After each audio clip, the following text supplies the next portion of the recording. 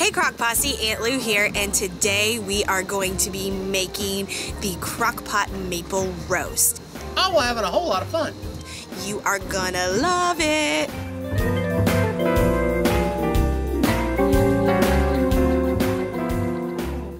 Hi, welcome back to another edition of Cooking Cris's Dishes with the good old boy. And Aunt Lou. And today we're cooking another dish from recipesthatcrock.com down here in sunny Florida because Woo. where better to spend the winter, right? no more 20 degree weather for a little while. It's kind of No. nice. But we want to have something hot and ready for tomorrow. And the reason we say tomorrow is because this is a longer recipe. Not so much the longer cooking as the prep for it.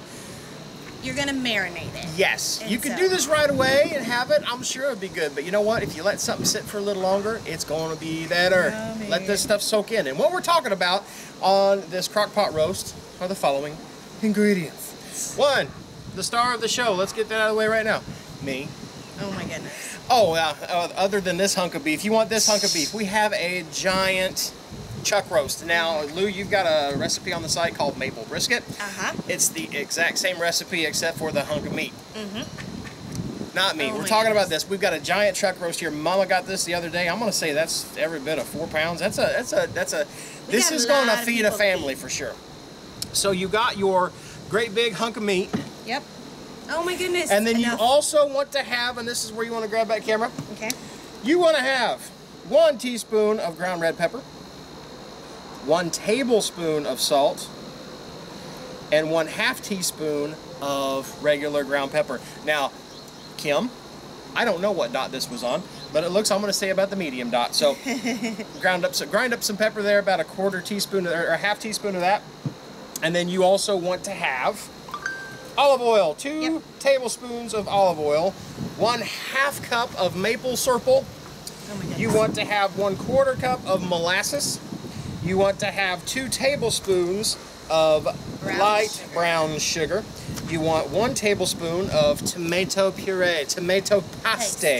Tomato. It says paste right there. Is that Italian? Oh my goodness. Tomato paste. You're full okay. of it today. I I, I am. but that's because I can't. uh-huh. Uh, so you got your tablespoon of tomato paste. You want one quarter cup of apple juice, and you want two cloves of minced garlic.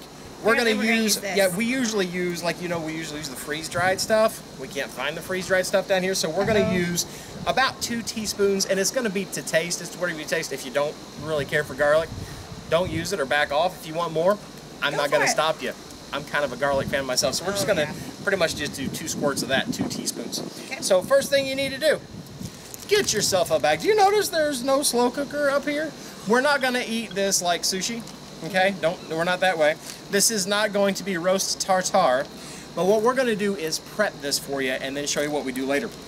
So in a baggie, the bag. this baggie, we set it aside because that's our vessel for a minute. First thing we wanna do is I'm gonna take my peppers and my salt, Stir them up. make them all even. Just like that. Yep. Looks like that. Looks like I just Okay. went and did this. That's all I Oh, did. Is, is that what you did? I did this. Are you Uh, sure? Wait, no, I did this. Wait, what did you do? Are you I did sure? that. Now we're good. Now what I want to do is I got evenly coat it. Make sure you definitely touch it in the, on the fat there, rub it in on that fat. And then you take your other half of said mixture And you and it do it on the other side. And if it's windy, you want to get closer to it. No, it's it's it's Monday right now. Ha ha ha. Actually, it's New Year's Eve. So by the time you see this, I don't know when it'll be, but Happy New Year.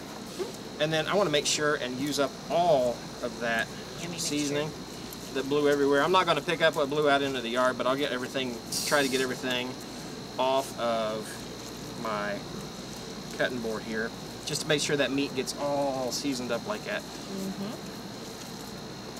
It's going to be pretty when it's done. Pretty and red. Now, drop your camera. Don't drop the camera. It's kind of expensive. And we're going to put this in that bag. I finally have a job to do. I got laundry. No thanks. All right, just set that aside. And then I'm going to go wash my hands. We'll come back on a snap and show you the rest of it in three, two, one. Say, hey, Crock Posse. I got Foxy. This is Ryder, my oldest. Ah, look at that. Clean hands. Ta-da! All right, so now what we want to do is we want to take the rest of our ingredients and put them in the bowl. So we want two tablespoons of olive oil, one half cup of maple syrup. I did not grab a half cup. We're going to cheat. This is a liquid vessel, and I always get yelled at from Cris whenever I use solids in a liquid vessel. But you know what? She's not here right now. So we'll grab a half cup. And you know what? It is like food science, but it's not like science science. It doesn't have to be exactly exact. That's about a half cup right there. Put that in there. Mm-hmm. You want a quarter cup of molasses. Now, again, I'm not going to be too precise on this. Oh, molasses is good. good. Quarter cup, right oh, about oh, there. wow. You want two tablespoons of olive oil. Right in the same bowl that I have my spices in. Be just fine. They're going on the same roast, so it's all right. That's right. All right, and now we want one tablespoon of tomato paste. Right there is about a tablespoon. And then we want our garlic. Garlic. And I'm just going to do a couple good squirts of this. There's about a teaspoon. There's about a teaspoon. Whew, I can And smell it over here. a little more, I don't care because it's going to make it taste good. There's and plenty then of meat for that. apple juice. Apple juice. Any kind you want, doesn't matter. Yeah, you got the good stuff. What is that? How much was that? It's supposed to be one quarter cup, so not much. But this just is just going to to add get that citrus in there to make it And that liquid to nice distribute. and tender. Just like that. So we got our black pepper, our salt, our red pepper, our brisket, of course, because he is the hunk of meat who is the star of the Not show. brisket. Or not brisket, that's right, Oh because we're looking at the brisket recipe. Chuck. We're not using brisket, we're using Chuck, the other hunk of meat. And then we got our molasses, we got our brown sugar, we got our tomato paste, we got our apple juice, we got our garlic. We are good to go. And all I want to do is stir it up real good, Okay. Carefully. which is another good thing for that um, that apple juice to be in there because that's going to help break down Everything. all the sugars and everything. Ooh.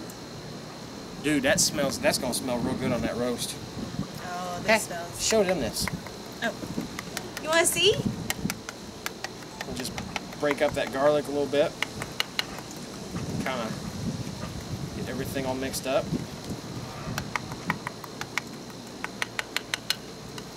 Just like that.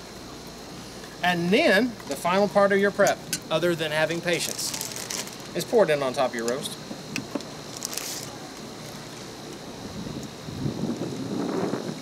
It's a windy day. Mm-hmm. Hope it didn't blow on me.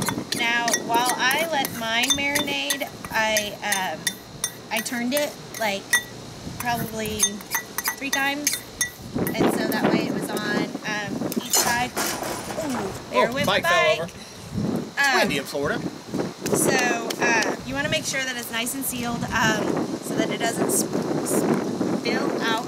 But like that way, um, all your marinade isn't just on one piece of the or part of the meat, and so you can just flip it a couple of times to make sure it all gets nice and marinated. yep. And Just like that. We're going to set this in the refrigerator for at least two hours. Mm-hmm. Or we're going to go the full 24 because I really want this flavor to soak into that meat. What we're going to do, because all we're going to do is take this out of the bag, dump it straight into a slow cooker, and we're going to set it on low for when is that going to look like? You know what else we forgot to do? One thing I forgot to mix in it was your maple syrup. One half it's cup. called maple beef or maple. Syrup. Oh See, my you can't even say it now. And it's okay because I will take that and toss it in a bag. You don't have to be perfect like me. You can make mistakes too. And then we'll get it sealed up and I'll give it a good mix. But we're going to take this and we're going to let it sit for 24 hours. Like Lou said, maybe flip it a couple times, make sure everything just let gravity do its thing, flip it over, let gravity do its thing, let it Uh-huh. soak into that meat. We're going to toss it in a slow cooker tomorrow for six to eight hours on low. And then when you come back and, And- see us, For those of you who are be done. asking or who always wonder about can you cook it on high beef like this, I really don't recommend it because the low and slow is going to take even the toughest portion of meat and make it nice and tender and just amazing. Yeah. So low and slow, this people do not do high. That and these cuts of meat are kind of expensive. I mean, they're not super high. Chuck is usually a really good median as far as buying a good piece of beef without mm-hmm. spending a whole lot of money. But still, this is an investment. So if you're going to invest your money in something, invest your time in it too. Cook it low and slow. It's going to break down any of those tough fibers. will not be sorry. And we'll show you in three, two, one. And now we are back. Let's recap what we did. We put all the stuff together in the roast In a bag. in a bag and we put it in a fridge and let it go for about half a day. Flipped it over on the other side. Let it go for a full 24 hours to let all that goodness soak into the meat. And then about 10 o'clock this morning, because I got up a little late this morning, I tossed the roast in. It cooked on low for a full eight hours. I heard mm-hmm. the beep. I unplugged it right away because I didn't want to set it on that warmer, with that warmer and dry it out. Right. And now, we don't even know what it looks like, but The we're about to find out. in. So let us get prepared. Let us get our little camera ready. Oh, and if you happen to see this hand in the shot, um, She did know- not murder a Smurf. My nails are not dirty, dirty. They're just dyed because me and the kids Aw. did some tie dyeing. Oh Not that way. no, we did some tie dyeing this morning, and I've I never can use the gloves the whole time. But anyway, I scrubbed and scrubbed, and this is what's left. So, without further ado, The big reveal. Look at that piece of meat right there. I just want to reach in and touch it, but I know I won't be able to because I'll get my hand smacked with a spoon. Mm-hmm. But I want you to push that down and see how tender that meat is. Oh, told ya. We were discussing That is what eight hours.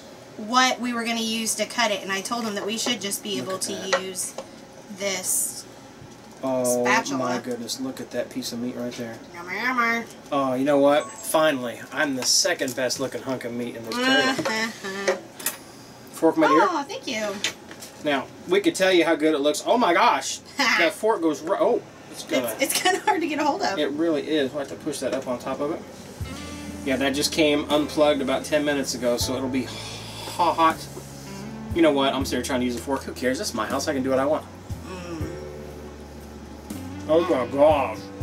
Right? That's like I almost want to bite my fingers. Okay. Tastes like beef. It tastes like a slow cooked chuck roast. But there is a sweetness. It's not like a barbecue sweetness, like over the top tanginess.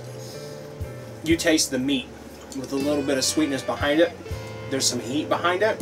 It's not a lot of heat, but it's there just to warm you up while you're eating well, and that maple, it just Mm. it complements the beef in a way that I never dreamed of it. it. I would have never thought of maple syrup on cow. But it's good. Oh, Here, I'm gonna, I'm gonna go up here. okay. Whoa. You know those times when I have to run up here in a confessional and tell you make that? Make that. look at that. I wish I could show you better. I wish I had a better camera. But look at that. It's brown up here and it almost looks like it's got like a crust on it. And that's just for where the marinade. Mm, That's where all the sugars and everything is soaked into that meat for 24 hours and then got put on heat. But that meat is fall apart tender. It's juicy. Yep. And it's got so much flavor. You're gonna love it. And I can guarantee you something. We're getting ready with our family of nine to take this outside.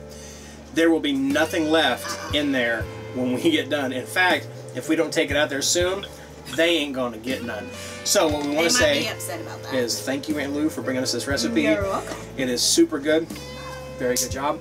Also for you, we want to thank you for watching. And if you like what you're seeing here, give us a thumbs up down below if you have not become a member of the Crock Posse. Join us. Our fun-loving, slow-cooking, RV traveling, foodie-loving, meat-eating family. We're a bunch of carnivores here on this channel. click subscribe down below, and you're automatically a member of the Crock Posse. Also, click that little bell next to it called the... Ding-a-ling. And that ding-a-ling will let us know that you want to see the videos as soon as we put them up, and we'll shoot them right to you. And also, y'all, whatever you do, laugh often Eat good food. and speak life. Bye. Bye, y'all. If you want to see the latest, click on the left right here. If you feel like subscribing, click on the right, my dear. And if you think we're funny enough to send us money, click the Patreon